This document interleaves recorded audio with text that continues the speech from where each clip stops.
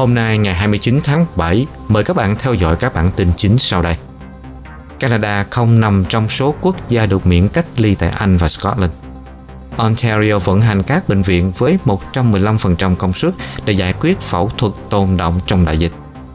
BC tuyên bố bùng phát COVID-19 ở khu trung tâm Okanagan, áp dụng lại các quy định về khẩu trang và các biện pháp y tế công cộng khác. Số ca COVID-19 đang tăng mạnh ở Alberta, nhưng các chuyên gia nói rằng các tỉnh khác chưa nên lo lắng. Thủ hiến Ford sẽ tuyên bố kế hoạch tủ trường rất toàn diện vào tuần tới. Pfizer cho biết liều vaccine thứ ba sẽ tăng mạnh khả năng bảo vệ chống lại biến thể Delta. Các thành phố ở PC phải chuẩn bị cho một tuần có nhiệt độ cao hơn nữa. Toronto đã đồng ý mua một ngôi nhà để cứu một cây di sản 250 tuổi. Bây giờ thì người bán nhà đòi giá cao hơn. Giá xăng ở Toronto trong tuần này sẽ tăng lên mức cao nhất từng thấy trong 3 năm, phá vỡ kỷ lục trong mùa hè này. Hóa thạch giống bọt biển được tìm thấy ở Canada có thể là ghi chép sớm nhất về sự sống của động vật trên trái đất. Hai tay chèo Femmer và Johnson đã giành huy chương đồng là huy chương thứ 10 cho Canada tại Thế vận hội Tokyo. Cục Dự trữ Liên bang Hoa Kỳ cho biết nền kinh tế của Hoa Kỳ đang phục hồi bất chấp sự gia tăng của COVID-19. Mỹ và Hoa Kỳ tổ chức đàm phán hạt nhân ở Geneva sau khi có sự thúc đẩy về hội nghị thượng đỉnh. Lãnh đạo Lầu Năm Góc thúc đẩy quan hệ với Việt Nam, trong khi một số quan ngại về nhân quyền vẫn còn. Tuấn Liêm và Hoàng Anh xin kính chào quý vị. Và cảm ơn quý vị đến đây để theo dõi bản tin của Culture Channel do tạp chí Culture Magazine thực hiện. Culture Magazine là tờ tạp chí văn hóa song ngữ Anh Việt duy nhất được phát hành tại Canada.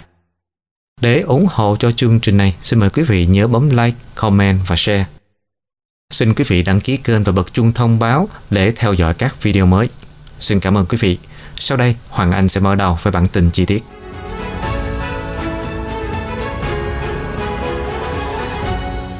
Thưa quý vị, chính phủ Anh và chính phủ Scotland hôm nay thông báo rằng những khách du lịch ở Liên minh châu Âu hoặc Hoa Kỳ đã được tiêm vaccine COVID-19 sẽ được miễn cách ly khi đến Anh và Scotland. Tuy nhiên, những du khách đã được tiêm phòng đầy đủ từ Canada sẽ vẫn phải cách ly. Thay đổi có hiệu lực vào ngày 2 tháng 8.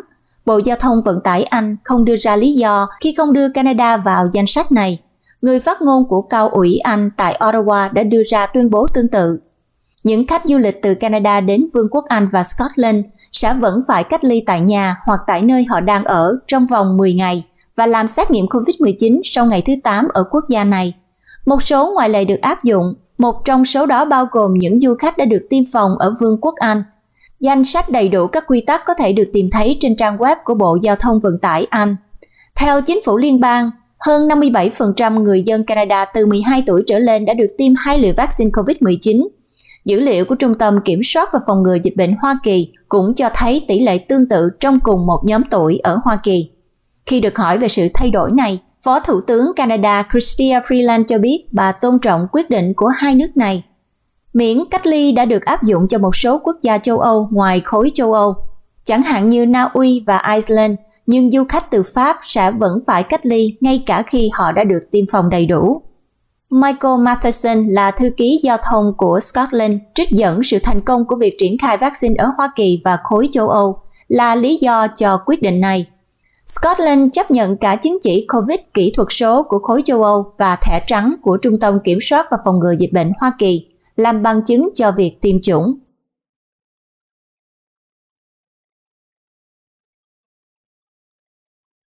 Tỉnh Ontario vận hành các bệnh viện với 115% công suất để giải quyết phẫu thuật tôn động trong đại dịch. Chính phủ tỉnh Ontario muốn nâng cao năng lực hoạt động của hệ thống bệnh viện tỉnh lên tới 115% công suất mức trước COVID-19 để giải quyết tình trạng tồn động các ca phẫu thuật và thủ tục bị chậm trễ do đại dịch. Các quan chức cho biết tỉnh sẽ cam kết 324 triệu đô la cùng nhiều hỗ trợ khác để giúp các bệnh viện thực hiện thêm 67.000 ca phẫu thuật và cung cấp thêm 135.000 giờ để chẩn đoán hình ảnh con số đó thể hiện sự gia tăng khoảng 10% công suất cho các ca phẫu thuật có khối lượng lớn nhất trong tỉnh, bao gồm cả các thủ thuật chỉnh hình và nhãn khoa. Một phần của nỗ lực cũng bao gồm nhiều ca phẫu thuật hơn vào buổi tối và cuối tuần. Dự kiến khả năng thực hiện các thủ tục không khẩn cấp sẽ đạt khoảng 100% mức trước đại dịch vào mùa thu. Sau đó thì tỉnh sẽ bắt đầu tăng cường tốc độ hơn nữa trong những tháng tiếp theo để đạt từ 110 đến 115% công suất vào mùa xuân năm 2022. Nhưng một số chuyên gia đang đọc câu hỏi liệu có đủ nhân viên để biến điều đó thành hiện thực hay không? Các quan chức cho biết đại dịch không dẫn đến thời gian chờ đợi phẫu thuật và chẩn đoán lâu hơn đáng kể vì nhu cầu cũng giảm. Ít người gặp bác sĩ, gia đình hoặc tìm kiếm sự chăm sóc tại các khoa cấp cứu. Các quan chức dự kiến sẽ mất vài tháng để con số thực sự của các thủ tục tồn động được tiết lộ vì mọi người bắt đầu khám bác sĩ lại hoặc tìm kiếm sự chăm sóc cho những căn bệnh mà họ có thể đã mắc phải trong đại dịch. Tỉnh đã chứng kiến sự gia tăng đáng kể về dịch vụ khám bệnh trực tuyến trong suốt đại dịch, nhưng điều quan trọng là phải khuyến khích người dân đến các xét nghiệm, thủ tục và sàng lọc trực tiếp. Một trong những câu hỏi chưa được trả lời còn lại là kế hoạch mới sẽ bị ảnh hưởng như thế nào khi có một làn sóng COVID nữa. Giám đốc điều hành của Ontario Health là Matthew Anderson cho biết, tỉnh đã chuẩn bị cho các đợt cao điểm nhỏ về lây nhiễm nhưng vẫn chưa rõ các ưu tiên trong hệ thống chăm sóc sức khỏe có thay đổi như thế nào nếu tỉnh chứng kiến đợt COVID-19 thứ tư. Thủ hiến đất Ford thì cho biết kế hoạch tụ trường của Ontario sẽ được công bố vào đầu tuần tới, bao gồm việc bảo đảm các trường học có hệ thống thông gió thích hợp. Tỉnh BC tuyên bố bùng phát COVID-19 ở khu trung tâm Okanagan, áp dụng lại quy định về khẩu trang và các biện pháp y tế công cộng khác Tỉnh British Columbia tuyên bố bùng phát dịch COVID-19 ở khu trung tâm Okanagan sau khi các ca bệnh trong khu vực gia tăng nhanh chóng. Tỉnh cũng áp dụng lại quy định về khẩu trang tại địa phương, cũng như các biện pháp y tế công cộng khác. Giám đốc y tế tỉnh là tiến sĩ Bonnie Henry cho biết, hơn một nửa trong số các ca COVID-19 của tỉnh BC tập trung ở khu vực này. Bà nói, chúng tôi lo ngại về sức khỏe cộng đồng ở trung tâm Okanagan, đặc biệt là xung quanh khu vực Kelowna, theo lệnh y tế mới thì khẩu trang sẽ là bắt buộc kể từ nửa đêm ở các không gian công cộng trong nhà và mọi người được khuyến khích nên đeo khẩu trang ở ngoài trời khi không thể giữ khoảng cách an toàn. Đi du lịch đến và đi từ khu vực này bao gồm Kelowna, phía tây Kelowna, Peachland và Lake Country cũng không được khuyến khích trừ khi các cá nhân được chủng ngừa đầy đủ. Khu vực cũng sẽ giảm khoảng thời gian giữa liều vaccine đầu tiên và liều thứ hai xuống còn 28 ngày Hoạt động tụ tập trở lại bình thường đã được công bố vào ngày 1 tháng 7 trong bước 3 của kế hoạch khởi động lại tỉnh, nhưng người dân ở Okanagan được khuyên nên tránh tụ tập trong nhà. Sông Bạc, câu lạc bộ đêm, phòng tập thể dục vẫn được phép mở cửa trong khu vực, nhưng không được phép khiêu vũ hoặc giao du nhiều người. Các quan chức cũng cam kết sẽ thực thi nhiều hơn trong các studio thể dục, nơi họ đã chứng kiến các ca bệnh có liên quan. Các ca nhiễm mới trong khu vực nội địa Interior từ ngày 1 tháng 7 chủ yếu liên quan đến những người từ 20 đến 40 tuổi và những người không được tiêm chủng đầy đủ. Tiến sĩ Henry cho biết sự lây lan của biến thể Delta trong khu vực đặc biệt đáng lo ngại, nhưng mà tin rằng các biện pháp mới sẽ giúp kiểm soát số lượng đột biến. Số ca COVID-19 đang tăng mạnh ở Alberta, nhưng các chuyên gia nói rằng các tỉnh khác chưa nên lo lắng. Trong hai tuần qua, các quan chức đã báo cáo có hơn 749 ca nhiễm bệnh tại Alberta. Trong khi đó, các nhà chức trách y tế của Alberta đã xác nhận 71 ca nhiễm virus mới có liên quan trực tiếp đến sự kiện Calgary Stampede, mặc dù bác sĩ hàng đầu của tỉnh nói rằng đó có thể là một con số thấp hơn thực tế. Hiện tại, các chuyên gia cho rằng sự gia tăng này là trong mong đợi và không có lý do gì để báo động. Tiến sĩ Chiahu, một bác sĩ y tế công cộng tư vấn cho Stampede cho biết, Tôi chắc chắn chúng ta sẽ thấy số ca bệnh tăng khi mở cửa trở lại. Câu hỏi là cường độ sẽ như thế nào? Đã có hơn 5,2 triệu liều vaccine COVID-19 đã được tiêm ở Alberta. Alberta đã chấm dứt tất cả các biện pháp y tế công cộng vào ngày 1 tháng 7, ngay sau khi có hơn 70% người dân Alberta đủ điều kiện đã tiêm mũi vaccine đầu tiên, đạt đến ngưỡng cho giai đoạn 3 của kế hoạch mở cửa trở lại. Theo tiến sĩ Stephanie Smith, giáo sư tại khoa truyền nhiễm của Đại học Alberta, Bà Stephanie chia sẻ, hiện tại chúng ta không có giới hạn về sức chứa, có những cuộc tụ họp ở bên trong nội thất, có những sự kiện lớn đang diễn ra. Tất cả những điều đó sẽ dẫn tới sự tương tác giữa con người với nhau và có khả năng lây lan Covid nhiều hơn. Đó thực sự là những gì chúng ta đã thấy trong vài tuần qua. Nhưng các tỉnh khác có nên lùi lại kế hoạch mở cửa trở lại hay không? Có lẽ là không. Mặc dù giáo sư Smith khuyên các tỉnh nên mở cửa trở lại từ từ với các biện pháp đeo khẩu trang và tránh không gian đông đúc ở tại nội thất. Theo bà, Canada có gần 80% dân từ 12 tuổi trở lên đã tiêm ít nhất một liều vaccine COVID-19 và hơn 50% dân số được tiêm chủng đầy đủ hai liều. Đây là một điều rất đáng khích lệ.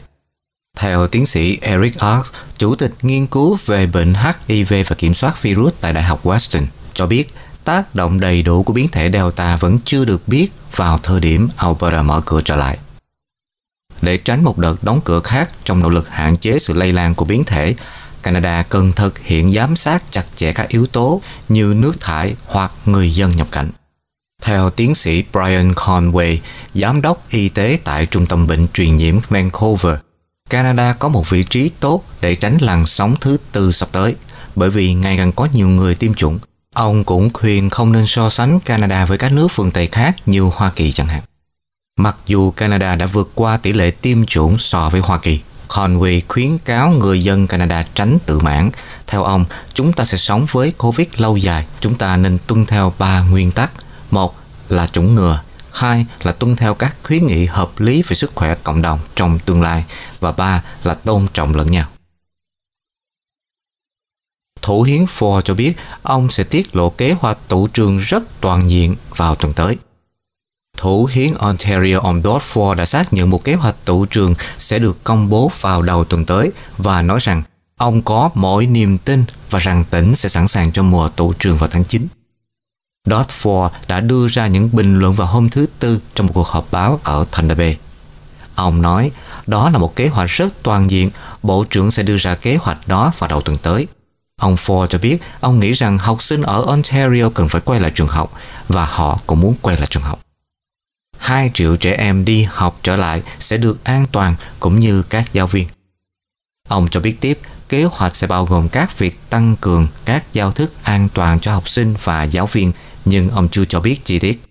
Giám đốc y tế của tỉnh là tiến sĩ Kieran Moore đã nói với các phóng viên vào hôm thứ Ba rằng kế hoạch quản lý COVID-19 bùng phát cho năm học mới sẽ áp dụng các quy tắc riêng biệt dựa trên tình trạng tiêm chủng học sinh và nhân viên đã được chủng ngừa đầy đủ sẽ ít bị gián đoạn công việc hoặc trường học nếu họ tiếp xúc với người mang virus có nguy cơ cao và có xét nghiệm âm tính với COVID-19, tiến sĩ Mò cho biết.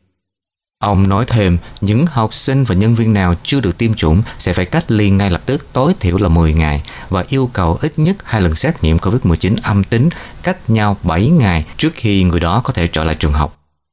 Cảnh báo được đưa ra trong bối cảnh tỉnh bang đang đấu tranh để thuyết phục hơn 300.000 học sinh đủ điều kiện ở Ontario hãy đi tiêm mũi vaccine đầu tiên mặc dù đã đẩy nhanh thời gian giữa các liều lên 28 ngày sau mũi đầu tiên để cho các em được tiêm chủng đầy đủ trước khi trường học khai giảng.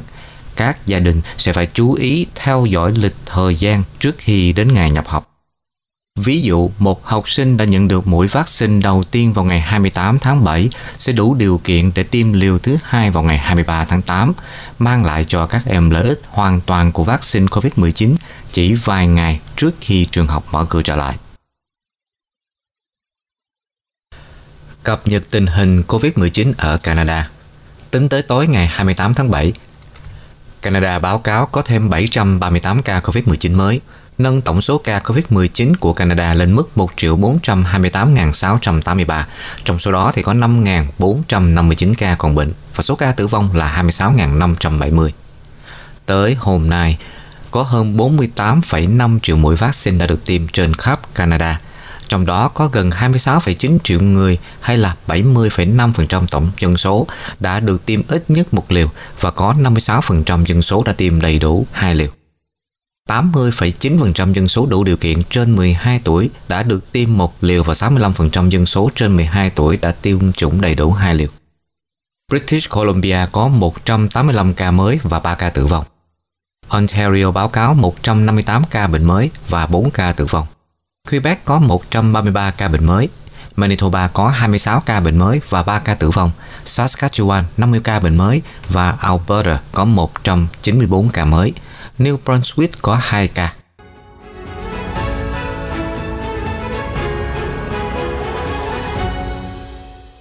Công ty Pfizer cho biết việc thử nghiệm liên tục mũi tiêm tăng cường được tiêm 6 tháng sau liều vaccine thứ hai cho thấy nó làm tăng mức kháng thể ngừa biến thể Delta lên 11 lần ở người lớn tuổi và cao hơn 5 lần ở người trẻ tuổi. Công ty Pfizer nói rằng điều này được so sánh với mức độ sau hai liều. Nhà sản xuất thuốc cũng lưu ý rằng cuối tháng 9, thử nghiệm ở trẻ em trong độ tuổi từ 5 đến 11 tuổi sẽ cho ra dữ liệu cần thiết để yêu cầu cấp phép sử dụng khẩn cấp ở nhóm tuổi đó. Dữ liệu cho thấy mức độ kháng thể cũng cao hơn sau liều vaccine thứ ba phòng ngừa chủng COVID-19 ban đầu và cả biến thể beta lần đầu tiên được xác định ở Nam Phi. Dữ liệu này chưa được đánh giá ngang hàng hoặc công bố. Trong những tuần tới thì Pfizer dự kiến sẽ công bố thêm dữ liệu để cơ quan quản lý dược phẩm liên bang Hoa Kỳ có thể quyết định xem liệu các mũi tiêm tăng cường có cần thiết hay không. Một quan chức hàng đầu tại cơ quan dược phẩm châu Âu cho biết, dự kiến sẽ sớm đưa ra quyết định về việc có khuyến nghị sử dụng vaccine Moderna COVID-19 cho trẻ em hay không. Nếu được chấp thuận thì đây sẽ là giấy phép đầu tiên để tiêm chủng cho trẻ em trên toàn cầu.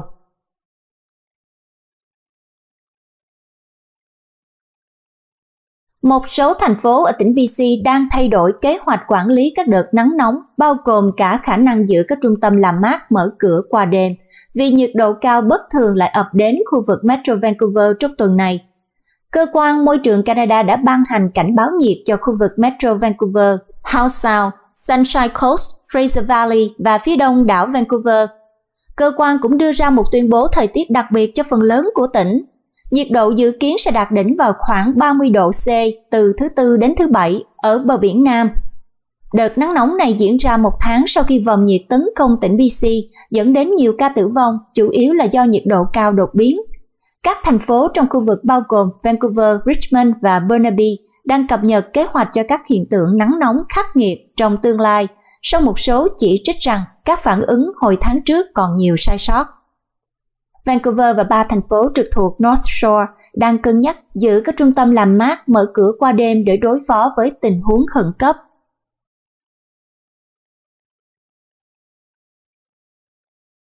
Hiện tượng bão lửa được theo dõi từ tỉnh BC đến Ontario nhiên liệu phong phú, nhiệt và gió đã gây ra bão lửa, được gọi là Pyrocumulonimbus từ tỉnh BC đến tỉnh bang Ontario.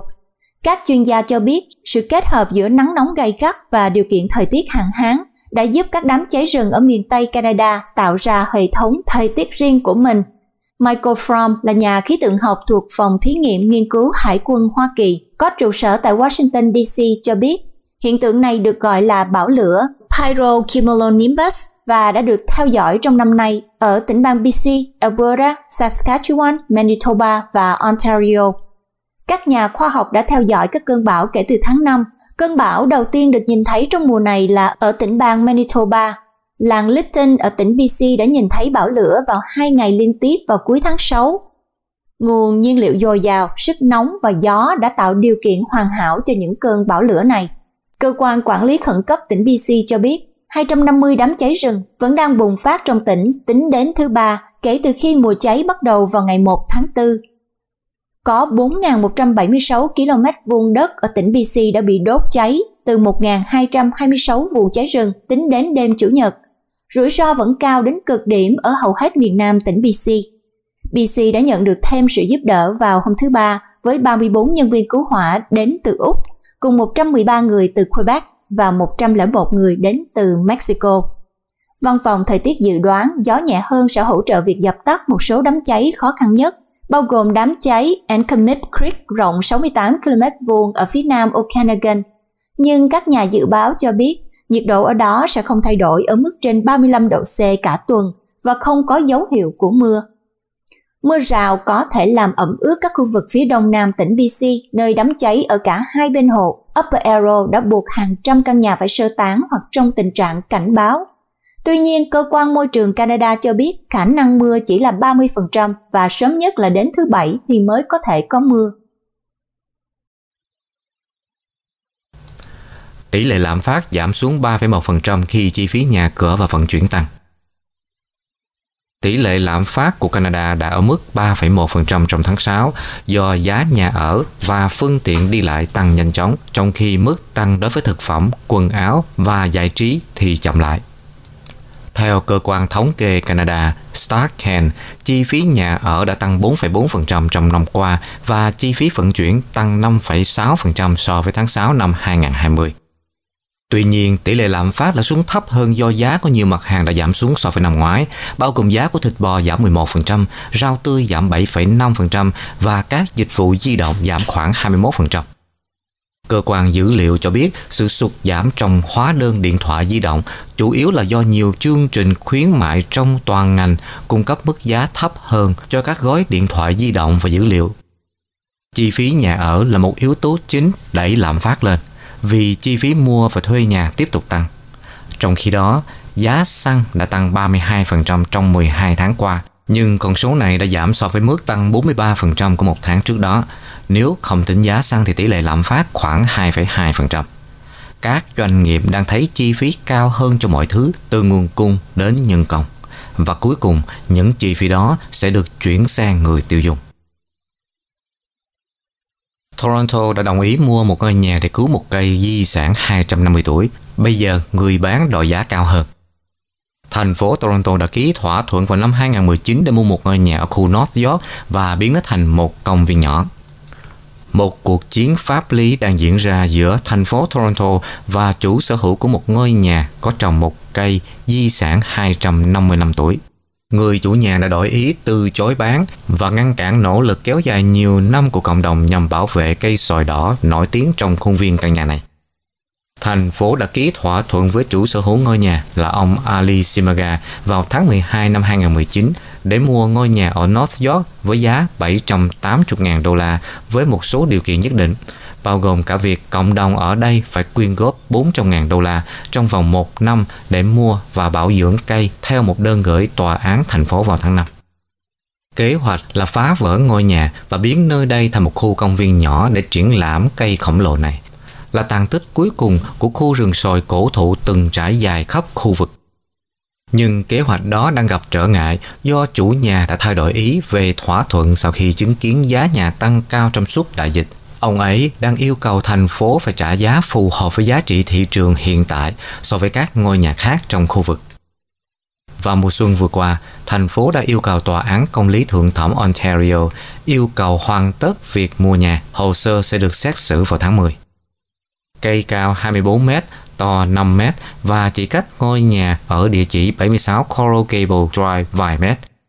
Cây sồi đỏ đó đã có mặt trước khi đất nước Canada được thành lập các nhánh cây của nó tỏa dài hàng chục mét về mọi hướng và bộ rễ dày của nó cắm sâu dưới lòng đất. Thành phố cho biết trong phần hồ sơ gửi đến tòa án rằng vào cuối năm 2020, thành phố đã thông báo với ông Simaga rằng họ đã sẵn sàng hoàn tất thương vụ. Hơn 1.500 nhà tài trợ đã quyên góp được phần tiền của cộng đồng và hội đồng đã bỏ phiếu để thành phố chi trả phần còn lại. Nhưng vào ngày 23 tháng 2 năm 2021, Simaga đã gửi email cho thành phố và nói rằng ông mong đợi giá bán sẽ phản ánh giá thị trường của bất động sản và theo ước tính của ông, giá thị trường đã tăng 120.000 đô la, tức là ngôi nhà của ông trở thành giá 900.000 đô la thay vì là 780.000. Do vậy mà ông đã từ chối bán nhà. Ông Simaga e rằng một khi ông bán với giá 780.000 đô la như đã thỏa thuận thì ông sẽ không đủ khả năng để mua lại một căn nhà khác để cho vợ và sáu đứa con của ông. Mặc dầu ông thừa nhận hiện tại họ không sống chung trong căn nhà mà ông đang cho thuê nó và sở hữu một căn nhà khác ở nơi khác trong thành phố. Theo tài liệu của tòa án, ông đã mua tài sản này với giá ban đầu là 520.000 đô la vào năm 2015. Một đại lý bất động sản đại diện cho Simaga vào năm 2018 trước đó đã cho biết rễ cây đã bám vào và làm hư hỏng nền của ngôi nhà, làm giảm giá trị ít nhất 60.000 đô la. Dựa trên những gì các ngôi nhà khác được bán vào năm 2019 tại khu vực này, 780.000 đô la là một mức giá hợp lý theo một nhà môi giới cho biết. Kể từ đó, giá đã tăng khoảng 20% và những ngôi nhà tương tự nơi không có cây di sản nổi tiếng đang được bán với giá lên tới 1 triệu đô la. Có nghĩa là mức giá mới 900.000 đô la mà ông Semaga yêu cầu có thể là thực tế. Ông Semaga nói rằng các chủ sở hữu trước đây đã thực hiện tất cả các biện pháp phòng ngừa để xây dựng ngôi nhà này để cây không làm hư hại nhà. Theo các tài liệu của tòa án thì trong thỏa thuận ban đầu, ông Simaga đã đồng ý với thời gian dài hơn để hoàn tất thương vụ mua bán, tức là hơn một năm so với thời gian thông thường chỉ vài tháng để kết thúc. Tuy nhiên, thành phố vẫn cam kết xây dựng công viên nhỏ. Về phần mình, thành phố cho biết họ cam kết bảo vệ cây sồi đỏ vì kích thước, độ tuổi, vẻ đẹp và ý nghĩa văn hóa và lịch sử lâu đời của nó. Thành phố cũng cho biết họ vẫn cam kết với một công viên nhỏ. Một khi sự tranh chấp về mua bán kết thúc, thành phố sẽ phá dỡ ngôi nhà và hoàn thiện quy hoạch công viên với sự đóng góp của cộng đồng và bắt đầu xây dựng sau khi ngân sách được phê duyệt vào năm 2022. Giá xăng ở thành phố Toronto trong tuần này sẽ tăng lên mức cao nhất từng thấy trong 3 năm, phá vỡ kỷ lục trong mùa hè này. Chúng tôi xin lưu ý với tất cả những người đang chạy xe dùng nhiên liệu là xăng, nếu bạn đang trì hoãn đổ đầy bình xăng thì bạn có thể muốn làm như vậy ngay bây giờ. Theo Dan Martic là nhà phân tích khí đốt và là chủ tịch của Canada về năng lượng giá cả phải chăng, mức tăng nhiên liệu dự kiến sẽ tăng thêm một xu mỗi một lít vào hôm thứ Năm, đưa giá xăng ở thành phố Toronto lên mức cao nhất kể từ ngày 26 tháng 5 năm 2018. Do đó, những người lái xe ở Toronto, Windsor, Kingston, Kitchener, Guelph, Niagara và hầu hết các thành phố khác trong tỉnh bang Ontario sẽ phải trả giá xăng lên tới 139,9 cent một lít lần đầu tiên sau 3 năm. Ông Martic tiết lộ rằng giá xăng sẽ phá vỡ kỷ lục trên khắp Canada trong mùa hè này. Một nhà địa chất học người Canada có thể đã tìm thấy hồ sơ hóa thạch sớm nhất của sự sống của động vật trên trái đất. Khoảng một tỷ năm trước, một khu vực phía tây bắc Canada ngày nay được xác định bởi các dãy núi dốc là môi trường biển thời tiền sử, nơi tàn tích của các bọt biển cổ đại có thể được lưu giữ trong trầm tích khoáng sản. Nhà địa chất học Elizabeth Turner đã phát hiện ra những tảng đá ở một vùng xa xôi của lãnh thổ Tây Bắc Northwest Territories mà chỉ có thể tiếp cận bằng máy bay trực thăng, nơi bà đã khai quật từ những năm 1980. Các phần đá mỏng chứa cấu trúc ba chiều giống như các bộ xương bọt biển hiện đại. Việc xác định niên đại của các lớp đá cho thấy các mẫu này khoảng 890 triệu năm tuổi, tức là chúng lớn hơn khoảng 350 triệu năm so với hóa thạch bọt biển lâu đời nhất được tìm thấy trước đây. Cho đến nay thì hóa thạch bọt biển cổ nhất có niên đại khoảng 540 triệu năm trước từ một kỷ nguyên được gọi là kỷ Cambrian. Nhiều nhà khoa học tin rằng các nhóm động vật đầu tiên bao gồm bọt biển mềm hoặc sinh vật giống bọt biển thiếu cơ bắp và dây thần kinh, nhưng có các đặc điểm khác của động vật đơn giản, bao gồm các tế bào có chức năng biệt hóa và tinh trùng. Tuổi của hóa thạch được xác định cách đây 890 triệu năm rất có ý nghĩa nếu bọt biển này được xác định, nó cho thấy rằng những loài động vật đầu tiên đã tiến hóa trước thời điểm khi lượng oxy trong khí quyển và đại dương đạt đến mức cần thiết cho sự sống của động vật. Tuy nhiên, nghiên cứu gần đây cho thấy một số loài bọt biển có thể tồn tại với rất ít oxy.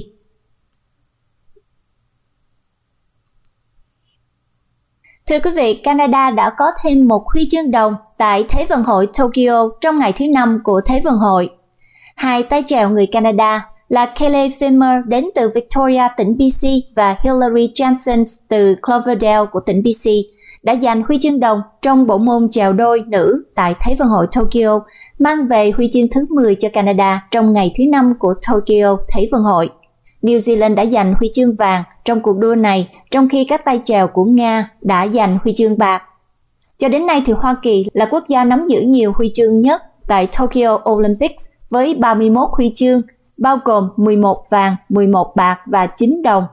Tiếp theo là Trung Quốc với 27 huy chương, 12 vàng, 6 bạc và 9 đồng. Nga với 23 huy chương, 7 vàng, 10 bạc và 6 đồng. Nhật Bản có 22 huy chương, 13 vàng, 4 bạc và 5 đồng. Úc thì 16 huy chương, 6 vàng, 1 bạc, 9 đồng. Vương quốc Anh 16 huy chương, 5 vàng, 6 bạc và 5 đồng. Ý thì có 15 huy chương, 1 vàng, 6 bạc và 8 đồng. Hàn Quốc thì 11 huy chương, 4 vàng, 2 bạc và 5 đồng. Đức thì 10 huy chương, 3 vàng, 2 bạc và 5 đồng.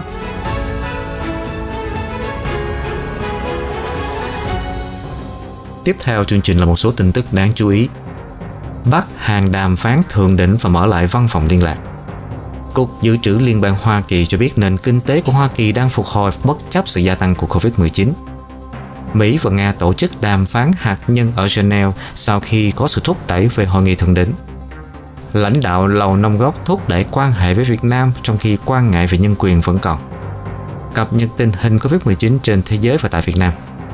Và chúng tôi xin kính mời quý vị nhớ đăng ký kênh và bật nút thông báo để theo dõi các video tin tức tiếp theo. Và rất mong được sự ủng hộ của quý vị bằng cách like, comment và giúp chia sẻ video để chương trình này ngày càng được tốt hơn. Bắc Hàn đàm phán thượng đỉnh và mở lại văn phòng liên lạc. Theo các nguồn tin giấu tên cho biết thì Tổng thống Hàn Quốc Moon Jae-in và nhà lãnh đạo Triều Tiên Kim Jong-un đã tìm cách cải thiện mối quan hệ căng thẳng bằng cách trao đổi nhiều lá thư kể từ tháng 4. Các cuộc thảo luận cho thấy sự cải thiện trong mối quan hệ vốn đã xấu đi trong năm qua. Các cuộc đàm phán ở phía Nam và Bắc Triều Tiên có khả năng giúp khởi động lại các cuộc đàm phán đang bị đình trệ giữa Bình Nhưỡng và Washington nhằm loại bỏ các chương trình hạt nhân và tên lửa của Triều Tiên để dỡ bỏ các biện pháp trừng phạt, mặc dù một số nhà phân tích vẫn thận trọng về triển vọng này. Hai miền Bắc và Nam Triều Tiên hôm thứ Ba đã nối lại các đường dây nóng mà Triều Tiên bị cắt vào tháng 6 năm ngoái và đang thảo luận về việc thiết lập lại văn phòng liên lạc chung tại làng biên giới Panmunjom. Bình Nhưỡng đã phá hủy văn phòng trước đó ở thị trấn biên giới Kherson vào năm 2020. Các nguồn tin cho biết họ cũng đang tìm kiếm một cuộc gặp thượng đỉnh giữa ông Moon và Kim, nhưng không có thời gian hoặc là các chi tiết khác được đưa ra do đại dịch COVID-19. Triều Tiên chưa xác nhận bất kỳ ca nhiễm COVID-19 nào, nhưng họ đã đóng cửa biên giới và áp dụng các biện pháp ngăn chặn nghiêm ngặt, xem đại dịch là vấn đề sống còn của quốc gia.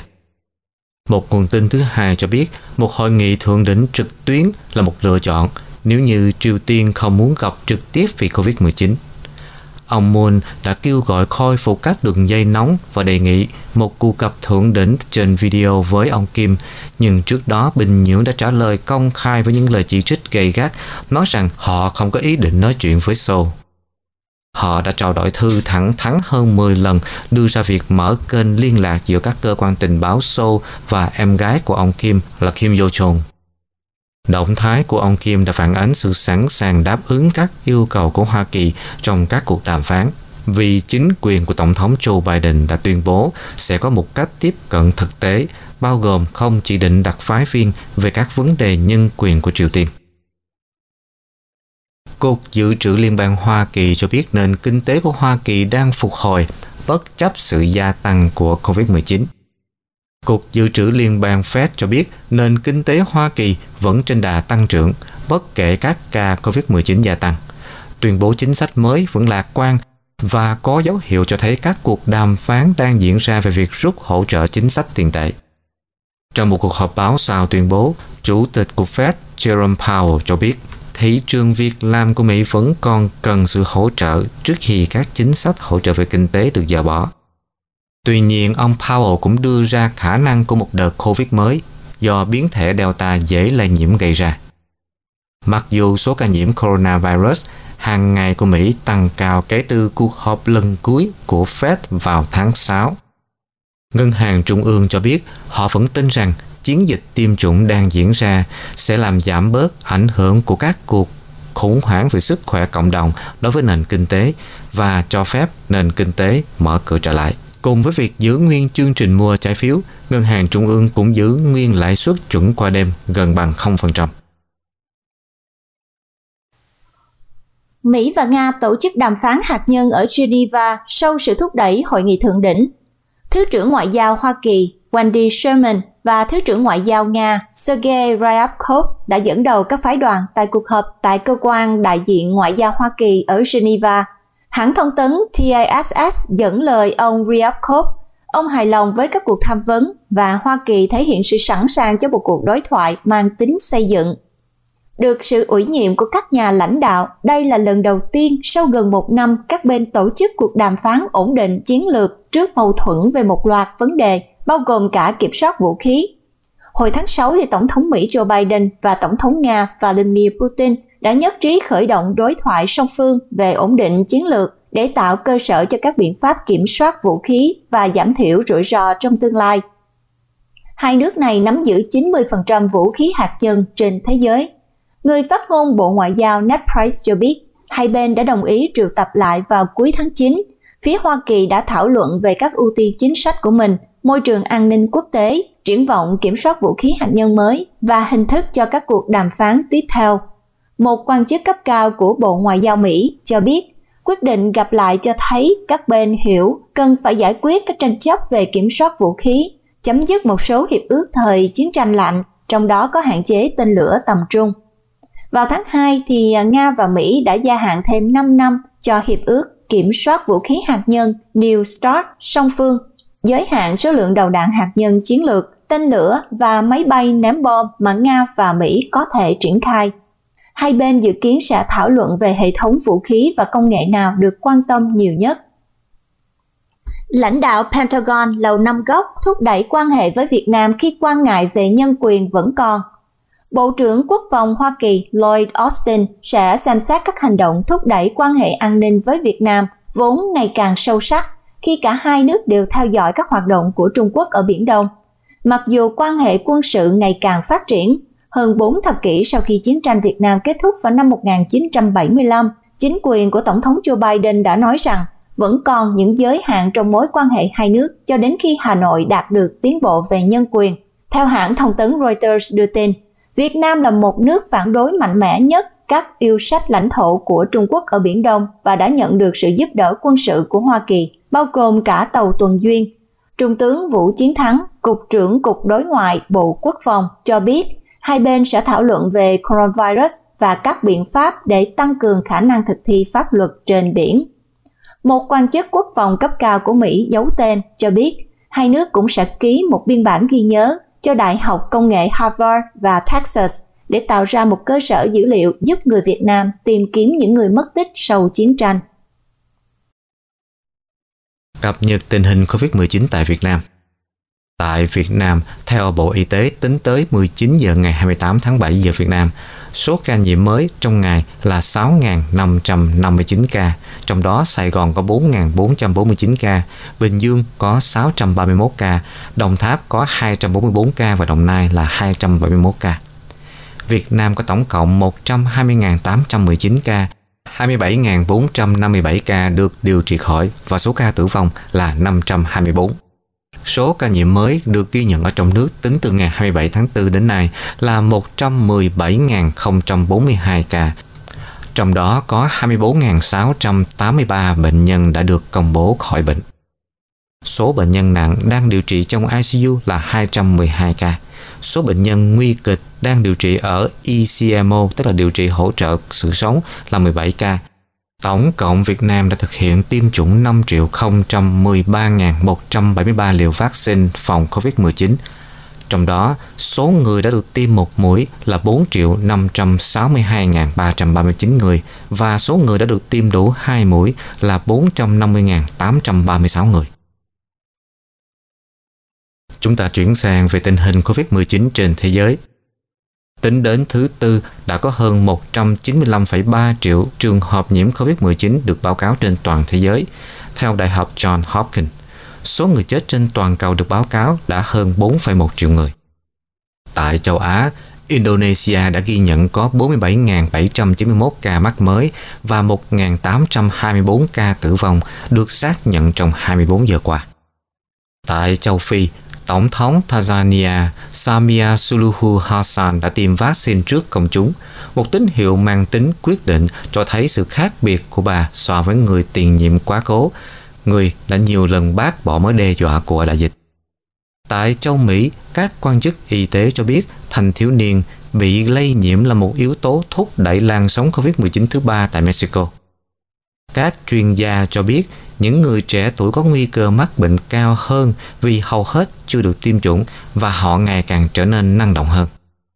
Tại châu Âu, Na Uy đã hoãn bước cuối cùng trong kế hoạch mở cửa trở lại của nền kinh tế lần thứ hai do sự tiếp tục lây lan của biến thể Delta. Tại Hoa Kỳ, các tiểu bang và doanh nghiệp bối rối thay đổi hướng đi sau khi chính phủ liên bang ban hành hướng dẫn mới kêu gọi đeo khẩu trang tại các điểm nóng có virus khi số ca COVID-19 và số ca nhập viện tăng đột biến trên toàn quốc. Nevada và Kansas City là một trong những thành phố nhanh chóng tuân thủ. Thống đốc tiểu bang Arizona cho biết. Tại Florida, trong cuộc họp của Hội đồng trường học quận Broward đã biến thành một trận đấu la hét giữa các phụ huynh giận dữ và các thành viên của hội đồng.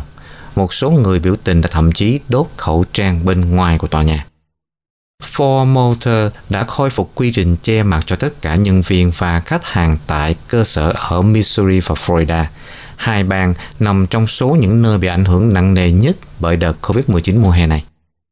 Thống đốc của bang Pennsylvania là ông Tom Wolf không cân nhắc việc áp đặt lại quy định bắt buộc đeo khẩu trang ở các trường học hoặc là trên toàn tiểu bang. Dù ông đã kêu gọi người dân Pennsylvania hãy tuân theo hướng dẫn của liên bang, đảng Dân Chủ cho biết các quy trình về khẩu trang là cần thiết trước khi có vaccine. Chỉ đạo mới của CDC áp dụng cho những nơi có ít nhất là 50 ca mới trên 100.000 dân trong tuần trước, tức là khoảng 60% tổng số các quận của Hoa Kỳ. Gần như tất cả phía Nam và Tây Nam đều phải tuân theo hướng dẫn, nhưng hầu hết các cộng đồng ở phía Đông Bắc, trừ các khu vực đô thị lớn như là thành phố New York và Boston, hiện được miễn ở những nơi khác thì các quan chức bảo thủ đã chống lại việc phục hồi các nhiệm vụ đeo khẩu trang, tạo ra một loạt các quy định trong các tiểu bang và quận. Hướng dẫn cập nhật của CDC được thúc đẩy bởi dữ liệu mới, cho thấy những người được tiêm chủng có thể truyền virus trong một số trường hợp hiếm hoi.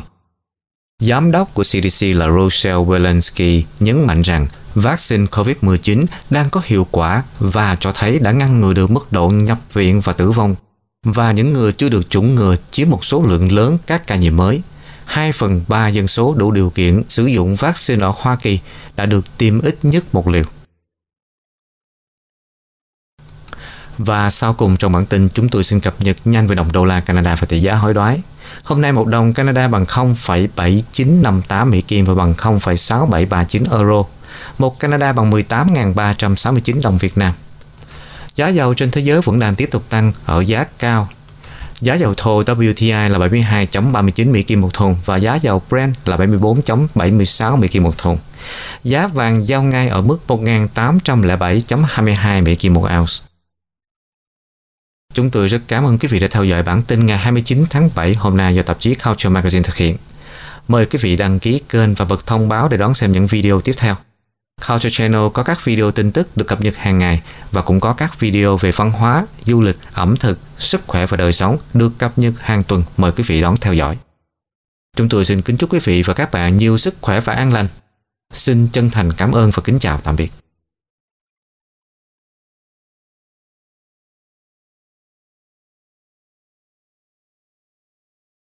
Chính phủ Ontario đã chuẩn bị nhiều thuốc ngừa coronavirus cho mọi người dân trong tỉnh.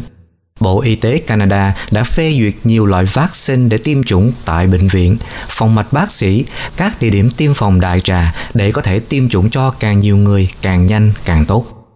Hãy cố gắng và nỗ lực đi tiêm phòng đầy đủ trong thời gian sớm nhất có thể. Đặt hẹn tiêm chủng tại trang mạng ontario.ca gạch chéo book vaccine hoặc gọi số điện thoại 1888 999 6488 Đường dây có hơn 300 ngôn ngữ để phục vụ quý vị. Một lời nhắn từ chính phủ Ontario.